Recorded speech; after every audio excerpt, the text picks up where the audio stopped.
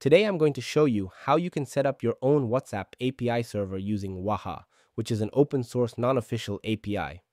If you've ever wanted to automate WhatsApp messages, build chatbots, or integrate WhatsApp into your software without using Meta's official API, now it's possible to do it very easy using this tool. So first, what exactly is Waha? Waha is an open source WhatsApp API server that uses WhatsApp web in the background and exposes a simple REST API. This means you can send messages, receive messages, automate conversations, and connect it with your existing apps, all without going through Meta's approval process.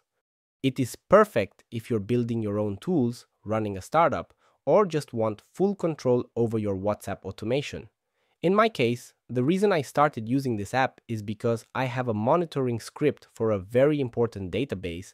I already had webhooks sending alerts to my Telegram and Discord accounts, but I also wanted to receive those alerts on WhatsApp too. After checking the official WhatsApp API, I realized it was way too much hassle for what I needed. So Waha became the perfect alternative. It's free, lightweight, easy to deploy, and you can run it on your laptop, a home server, or even a cheap VPS. Before we start, the only thing you need, besides a WhatsApp phone number of course, is Docker and Docker Compose installed. You can install them on any operating system by going to docker.com opening the documentation, selecting your platform, and following the installation steps.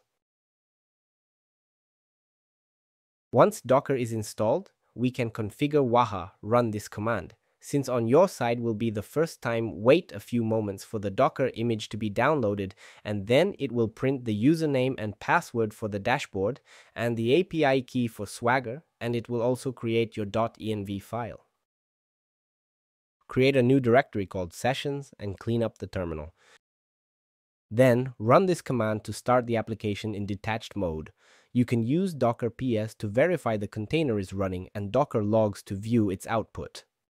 Now, go to localhost port 3000 slash dashboard. Add admin as the user and the password that was generated during the setup you can open a new tab and go to localhost 3000 to see the Swagger page, click on Authorize and add the API key that was also generated during the setup. Now, go back to the dashboard and click on Edit Worker. Make sure the API key is also added there and press Save. To connect your phone, go to the Session section and click Start. Wait a few moments and then click the screenshot QR button. On your phone, open WhatsApp, go to Settings and select Link a device. Once it's done, you can close this screen. You should now see your WhatsApp name here. In my case, it's SoftSweb, which is set as my WhatsApp name. Now, go back to the Swagger page and search for the send text call. I will replace this body with a request to send a message to myself.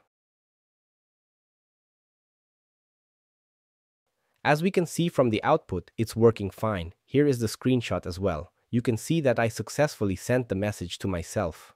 Now let's build a quick close to real-world monitoring script that monitors a test Docker container, checks every minute using cron. If the container crashes, stops, or exits, Waha sends you a WhatsApp alert and this will log every action to a log file. Run a test container that we are going to crash later by using this command. Then use docker ps to see if it's running. Create the monitoring script in your user's home directory. Make sure to replace the log file location, the API key, and the chat ID with the phone number you want to send the alerts to. Then save it and make the script executable. After that, create a cron job that runs every minute. And that's it. Let's check the logs. We have to wait a minute for the script to run and try again. Okay, we can see it's working. Now let's crash the container to see if we actually get a message on WhatsApp. And as expected, we did. And that's it. In this video, you saw how easy it is to set up your own WhatsApp API server using Waha, connect your phone, and even integrate it with a simple monitoring script to receive real-time alerts directly on WhatsApp. Now you can use this setup for automation, notifications, chatbots, or anything else you want to build on top of WhatsApp. Thanks for watching and see you next time.